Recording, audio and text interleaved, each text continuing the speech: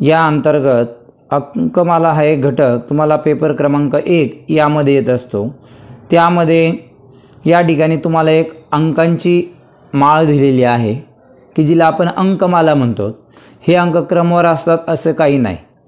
तर या अंकावर आपल्याला जी प्रश्न विचारले जातात आता त्या प्रश्नाचा विचार जर केला तर या ठिकाणी तुम्हाला प्रश्न विचारला. काय सांगितलं आहे वरील संख्या मालेत ज्याच्या पूर्वी लगेच तीन आणि ज्याच्या नंतर लगेच आठ आहेत असे सहा किती वेळा आहेत? म्हणजे सहा संख्याच्या पूर्वी तीन असले पाहिजे आणि त्याच्यानंतर आठ असले पाहिजे. असं किती वेळा झालं आहे हे आपल्याला शोधायचं आहे आता सर्वप्रथम आपण या ठिकाणी स निरीक्षण करू या अंकमालेचं. या ठिकाणी सहा आहेत परंतु ज्याच्या पूर्वी तीन आहेत पण आठ नाहीत याचा अर्थ हा काही येणार नाही.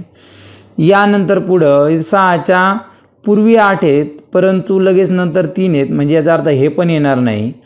त्याच पद्धतीनं आता या ठिकाणी पुढे जाऊ. इथं एक सहा आहेत.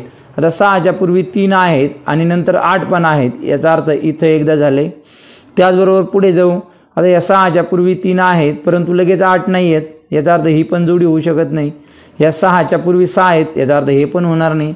त्यानंतर पुढे गेलं तर तिथं सहा आहेत. सहाच्या पूर्वी तीन आहेत नंतर लगेच आठ आहेत. याचा अर्थ हे एक होईल.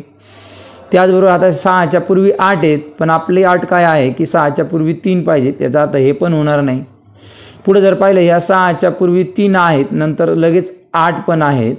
याचा अर्थ ही एक जोडी होईल. अशा पद्धतीनं या ठिकाणी आपल्याला किती जोड्या मिळाल्यात? सहाच्या पूर्वी तीन आणि लगेच नंतर आठ. असे आपल्याला सहा किती वेळा मिळाले? एक दोन तीन. या पद्धतीनं आपलं उत्तर काय असणार आहे? मग पर्याय क्रमांक दोन की ज्यामध्ये आपल्याला तीन ही संख्या दिलेली आहे.